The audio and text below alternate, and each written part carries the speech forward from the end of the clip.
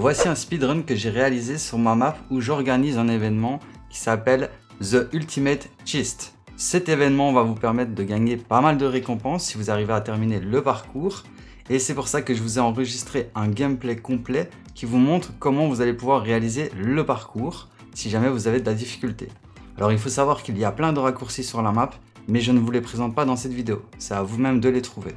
Après là j'ai fait le parcours en 17 minutes, je suis tombé quelques fois, mais si maintenant vous trouvez des raccourcis, vous pouvez aller beaucoup plus vite. Alors dernière information, après je vous laisse avec le gameplay, si maintenant vous trouvez des bugs ou vous trouvez des glitches sur la map, n'hésitez pas à le dire en commentaire.